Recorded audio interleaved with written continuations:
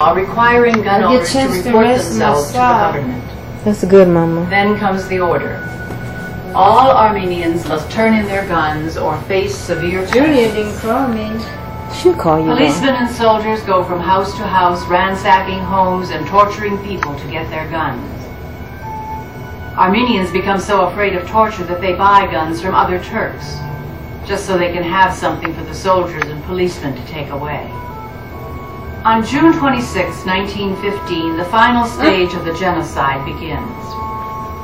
The government proclamation declares, all Armenians will be deported